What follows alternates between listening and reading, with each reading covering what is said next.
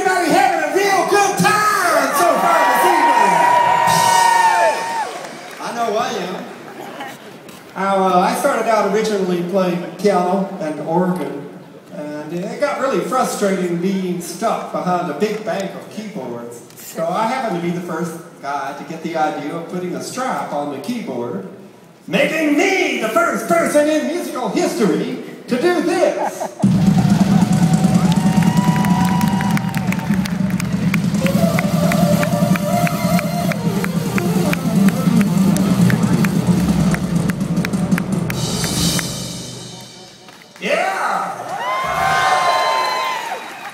Wrote this uh, instrumental to feature the synthesizer called Frankenstein. Are y'all ready for the monster? Yeah. Here we go. Well, in a laboratory once upon a time at work was a doctor named Frankenstein.